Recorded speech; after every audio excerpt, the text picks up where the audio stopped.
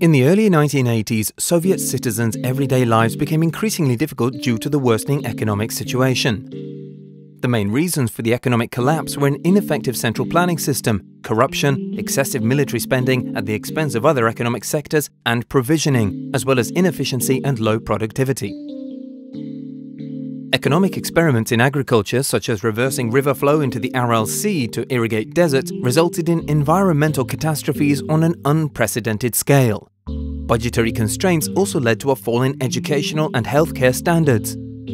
Alcoholism was an endemic problem. In these circumstances, people began to lose their faith in communism. The Warsaw Pact, Comecon, and pro-Soviet Third World countries were also expensive to maintain.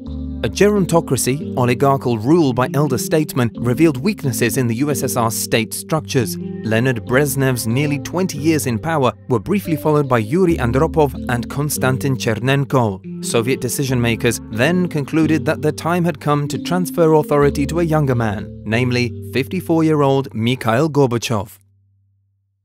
Gorbachev embarked on a large-scale state perestroika reform, but plans to rebuild the system had numerous internal contradictions and inconsistencies, particularly economically. The reconstruction of economic and social life was based on several assumptions. Uskoreniye, namely acceleration, or reform to speed up economic change in the USSR through investments to update the machine and electronic industries. Market mechanisms were also introduced to seemingly give autonomy to state enterprises, but the state and party retained control over the economy. Glasnost, a policy of top-down controlled openness aimed at securing transparency in public life. Gradually lifted censorship turned into open criticism of past and present Soviet governments. It also allowed for the publication of work by formerly banned authors. Western pressure led to the freeing of dissident Andrei Sakharov, who had been exiled with his wife Yelena Bonner since 1980 to Gorky, presently known as Nizhny Novgorod. They came to symbolize the change of Soviet internal policy. Re-emerging human rights organizations such as the Moscow Helsinki Group and Memorial Association started court proceedings to rehabilitate victims of Stalinist purges. New Thinking A non-confrontational policy towards the West was conducted under the slogan of building a common European home. Its essence was a departure from using military threat as a means of achieving political and ideological aims. This policy led to political détente and reduced costs.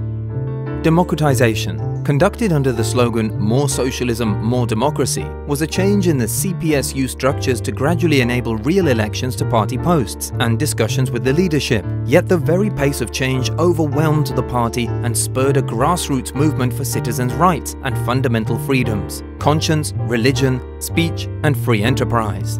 The nuclear plant catastrophe in Chernobyl once again clearly revealed the old system's inherent flaws, the authorities covered up the number of victims and scale of fallout in Belarus and beyond the Soviet borders. Over 350,000 people were evacuated from around the power plant. Soviet authorities had sought to keep the incident secret so as not to disrupt the Workers' Day holiday on May the 1st. Yet information about the catastrophe nevertheless became public as brief and superficial coverage, and only after having been reported by Western media.